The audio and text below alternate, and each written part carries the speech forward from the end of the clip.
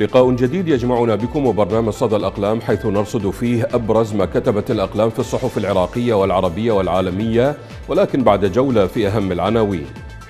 في صحيفة المدى مسؤولون الدولة تملك 600 ألف عقار 60% منها مستحوذ عليها بلا عقود.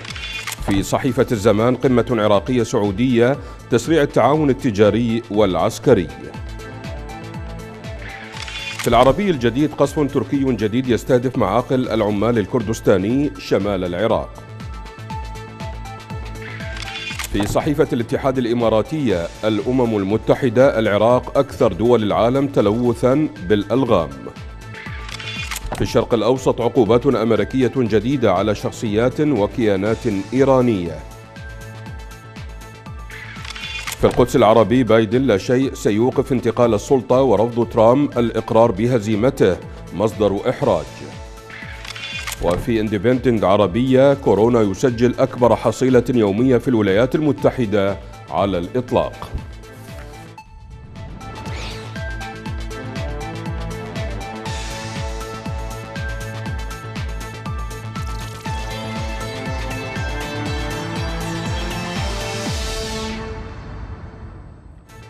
السلام عليكم. في العراق لم يعد من الغرائب وصف سلوك الطبقة السياسية في العراق بأنه يجمع بين المتناقضات ولعل موقفهم من الديمقراطية يعد هو الأكثر تناقضا وغرابة في الوقت يقول في نفسه أياد العنبر في موقع الحرة عراق أن السياسيين في العراق يعملون ليلا ونهارا على تدمير كل ما له علاقة بأسس النظام الديمقراطي ولعل أهمها المساءلة والمحاسبة.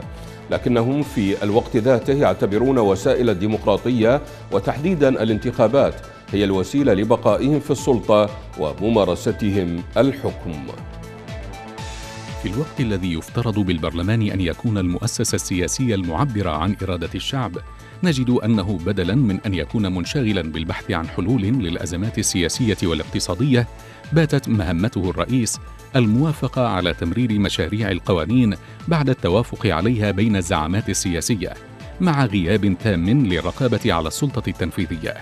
ومن ثم بات البرلمان عاجزا تماما عن التعامل بمسؤولية إزاء الأزمات التي يمكن وصفها بالأخطر والأكثر تعقيدا لأنها كانت بمواجهة احتجاجات تعبر عن رفضها لمنظومة سياسية تراعي مصالح الطبقة السياسية وزعاماتها وتتجاهل مصلحة المواطن.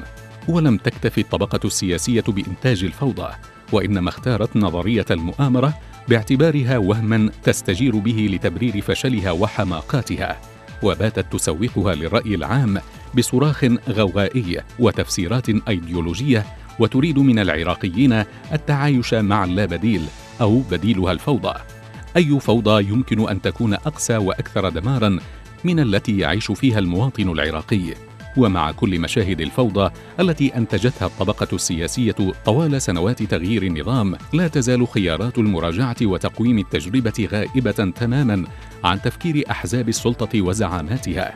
وما يتم تداوله هو نوع من خطابات التسويف والمماطلة وليس محاولات حقيقية لتقييم ما وصل إليه حال البلاد بعد سبعة عشر سنة من ممارسة السلطة. الكاتب يقول إنه لا يمكن أن نتوقع حلولا حقيقية لمعضلة العراق في ظل انعدام ثقة المجتمع بالطبقة السياسية لأن هذه الطبقة فشلت في التأسيس لعلاقة ترابط بينها وبين المجتمع في أن تكون معبرة عن مصالحها رغم فشلها وفسادها وسوء إدارتها لا تزال ترفض الإقرار بعجزها عن إحياء الثقة المفقودة أو قدرتها على إعادة إنتاجها.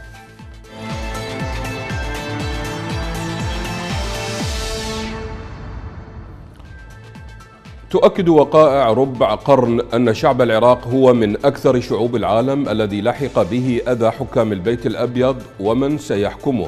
اعتبارا من أواخر يناير عام 2021 لا فرق بين من ينتمي منهم إلى الحزب الجمهوري أو الديمقراطي بل إن الرؤساء الأربعة كلينتون وجورج بوش الأب والابن وأوباما من كلا الحزبين فضحوا ومزقوا ورقة شعارات الحرية والديمقراطية التي رفعوها لدعم شعوب العالم. هذا ما أشار إليه ماجد السمرائي بمقاله في صحيفة العرب اللندنية. شعب العراق وليس حكومات وسياسيو الأحزاب خلال الاحتلال الأمريكي والإيراني لا يحمل ودا لرؤساء الولايات المتحدة. والعراقيون غير مكترثين بهزيمة ترامب وفوز بايدن. كلاهما لم يقدم لهذا الشعب المبتلى بحكام جهالة وفاسدين ما يعينه على استرداد سيادة بلده وإعادة حقوقه المنهوبة. سياسيون شيعة وحدهم يتبادلون التهاني بفوز بايدن. ولا يستبعد إرسال كبارهم برقيات تهنئة للسفارة الأمريكية ببغداد التي نظموا الهجمات على مبانيها خلال الشهور الماضية ما يؤكد كذب عدائهم لأمريكا التي نصبتهم في الحكم. وأن تلك الحملة عبارة عن تعليمات المرشد الأعلى في طهران ضد ترامب ليس إلا. حمل العراقيون تجاه جو بايدن انطباعا غير إيجابي. فقد وقع على قرار إجازة الحرب ضد العراق عام 2003 داخل الكونغرس الأمريكي. كما شجع بايدن فكرة تقسيم هذا البلد طائفيا. خلال فترة حكم أوباما كان بايدن المسؤول الأول عن الملف العراقي. ومهما قيل عن موقفه المتشدد من رئيس الوزراء الأسبق نور المالكي إلا أنه هو من شجع على ولايته الثانية وسانده في سياساته الطائفية ضد العرب السنة. عام 2021 سيكون مختلفا وسيعيد الرئيس الجديد وفريقه في مؤسسات البيت الأبيض والبنتاغون والمخابرات والخارجية جميع الحسابات الخاصة بالتعاطي مع الملف العراقي. الكاتب يتساءل في ختام مقاله ماذا سيقدم بايدن للعراقيين؟ هل سيساندهم في إعادة بلدهم وتحريره من محنة اختطافه من نظام الولي الفقيه الإيراني؟ ويضغط على حكومة الكاظمي لتحجيم هيمنة الميليشيات الموالية لطهران. أم أن تلك الميليشيات وأحزابها ستأخذ راحتها بعد إزاحة البعبع الترامبي الذي كان يلاحقها أسئلة تدور في أذهان العراقيين المنشغلين بسد رمق أطفالهم ودرء سلاح الميليشيات وهيمنتها على حياتهم.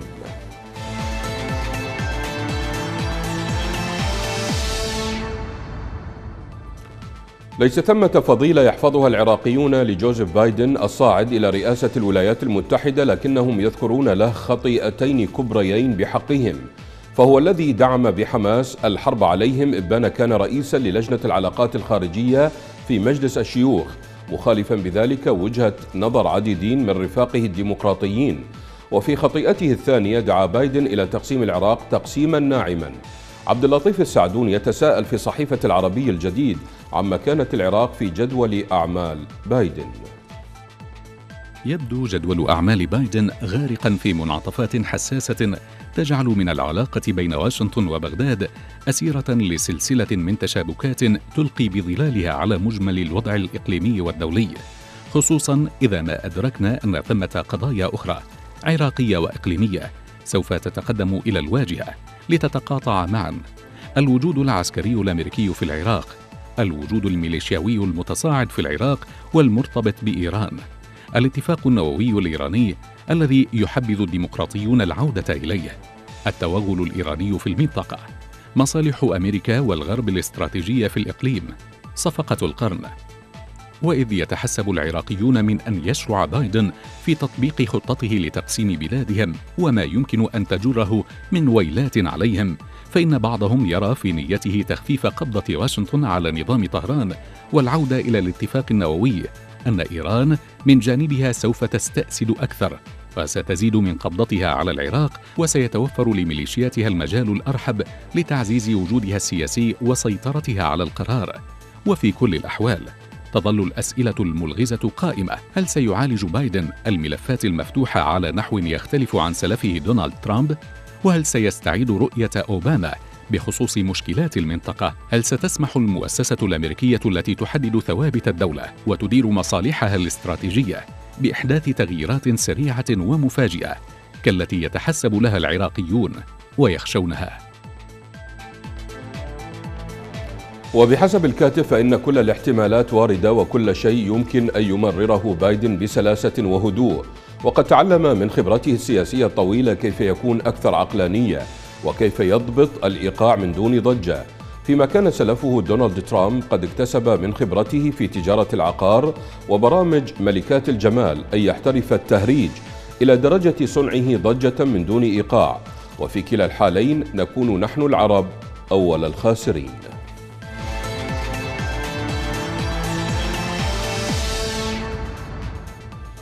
لم يسبق أن حبس الأمريكيون أنفاسهم لمعرفة نتائج الانتخابات الرئاسية كما فعلوا هذه المرة. ولم يسبق كذلك أن حدث نفس الشيء لباقي العالم. السبب واحد هو شخصية ترامب نفسه. بكل ما تمثله من قيم ومواقف وتصرفات بحيث لم ينظر الناس إلى هذه الانتخابات سوى على أنها حماسة لاستمرار نهج ترامب أو رفض الله. محمد كريشان يقول في صحيفة القدس العربي إن ترامب لم يبقي أحدا على الحياد. فالناس فسطاطان واحد معه بلا تحفظ وآخر ضده بلا حدود. أمريكيا كان سقوط ترامب الذي ما زال يعاند في الاعتراف بهزيمته انتصارا لكل القيم التي عمل ضدها الرئيس الأمريكي. فقد كانت انتصارا على توجهات الكراهية والتمييز ضد الأقليات والنساء والمهاجرين والمسلمين والعنصرية ضد السود ووحشية رأس المال المتعجرف الذي لا يقيم وزنا لا للفقراء ولا للطبقة المتوسطة.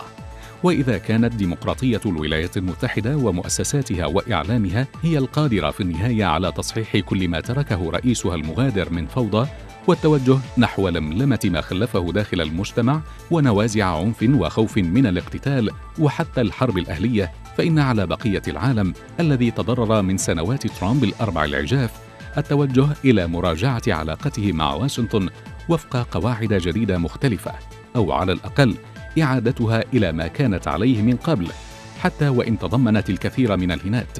في بلادنا العربية كانت الشماتة في سقوط ترامب هي الطاغية. عدا أولئك الذين ربطوا مصيرهم بمصيره. هذه الشماتة لا تعني استبشارا بقدوم بايدن ولا تهليلا لما يمكن أن يأتي به. فقد علمتنا التجارب الكثيرة مع الرؤساء الأمريكيين الا ناسى على ما فات والا نفرح بما أتى. كانت شماتة الحكومات مكتومة فيما كانت شماتة الرأي العام واضحة جلية. ويختتم الكاتب بالقول إن ذهاب ترامب وما تركه وراءه من ندوب وقدوم بايدن وما قد يحمله من آمال. يفترض ألا يحجب الرؤية عن كثيرين. فيعتقدون أن الفرج آت لا محالة بذهاب هذا وقدوم ذاك. أبدا فالدول إنما تنتزع مكانتها الإقليمية أو الدولية بجهدها الخاص وتحصين جبهتها الداخلية قبل أي سند أو إسناد خارجي.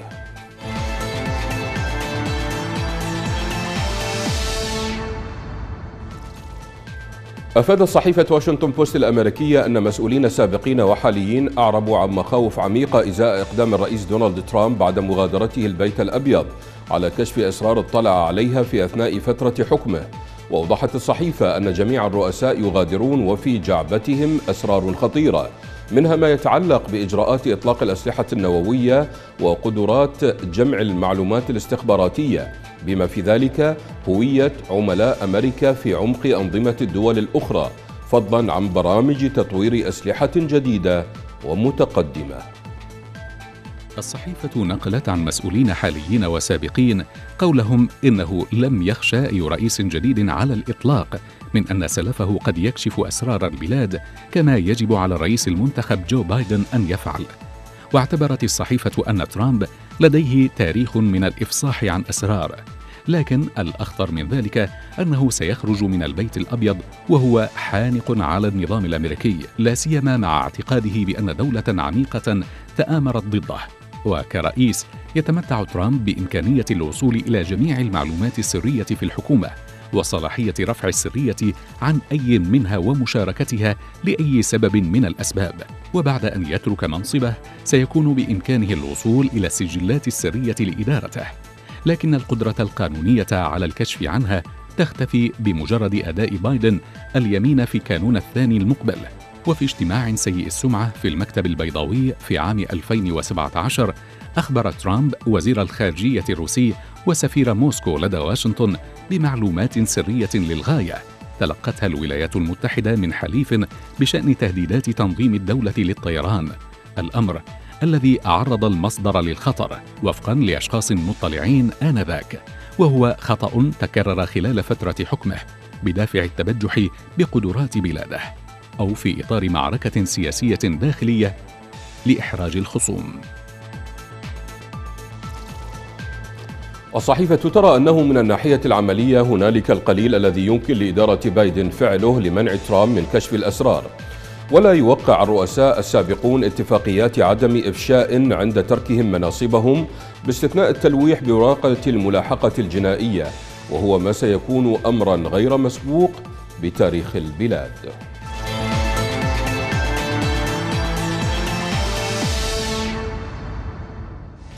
سلطت صحيفة الاندبندنت البريطانية الضوء على إعلان شركة فايزر تطوير لقاح محتمل لفيروس كورونا يقدم حماية بنسبة 90% وقالت الصحيفة في تقرير للكاتب أيان هاملتون إنه على الرغم من أن خبر تطوير اللقاح رائع ويصعب ألا نفرح بسماعه إذ يمنحنا بعض الأمل. إلا أنه لن يكون الحل المطلق الذي ينتظره الناس لأسباب عديدة. الكاتب يشير إلى أن الحكومة البريطانية خططت مسبقا وطلبت 30 مليون جرعة من هذا اللقاح الجديد إلا أنه فسر أن تلك 30 مليون جرعة لن تعالج 30 مليون شخص لأن اللقاح يجب أن يعطى على جرعتين. لذلك سيكون كافيا لعلاج 15 مليون شخص فقط.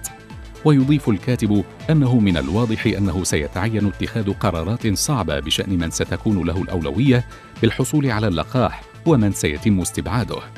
ويضيف أنه على الرغم من أنه قد يبدو واضحا أنه يجب إعطاء الأولوية لبعض المجموعات مثل موظفي هيئة الخدمات الصحية في الخطوط الأمامية والأفراد المعرضين للخطر إلا أنه لا توجد ضمانات على ذلك في هذه المرحلة. وتقول شركة فايزر إن بيانات المرحلة الثالثة من التجارب على اللقاح تظهر أنه فعال بنسبة 90% لكن الكاتب يشير أنه وعلى الرغم من أن ذلك مثير للإعجاب إلا أن الأمر لا يزال يعني أن واحدا من كل عشرة أشخاص لن يكون محميا. ويضيف نأمل ألا تمتلك شركة فايزر هذه البيانات فقط بل أن تجعلها متوفرة لكنها ليست ملزمة بذلك. تذكروا نحن أمام مشروع تجاري لشركة مدرجة وليس أمام عمل خيري. الكاتب يرى أن هذا التفصيل سيشكل أيضا تحديات لتصنيع هذا اللقاح على نطاق واسع مشيرا إلى أن بريطانيا على سبيل المثال لن تكون البلد الوحيد الذي يتنافس للحصول على جرعات كافية. وسيكون من المهم أن نتمكن من إضافة 30 مليون جرعة إلى الترتيب الأولي لضمان حماية جميع السكان.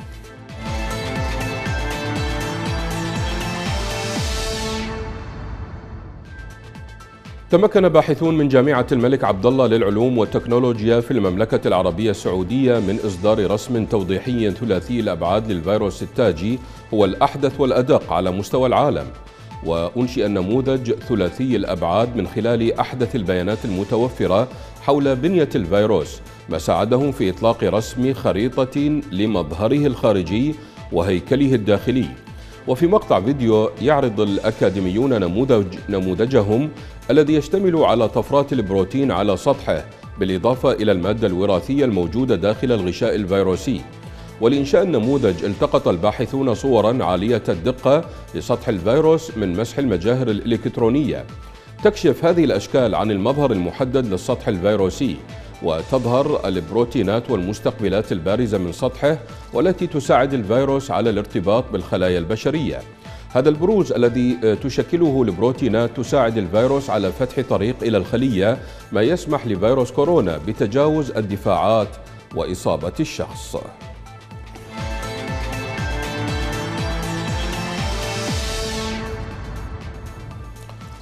الرسوم الكاريكاتورية لها أسلوبها الخاص في وصف الأحداث. حول العالم.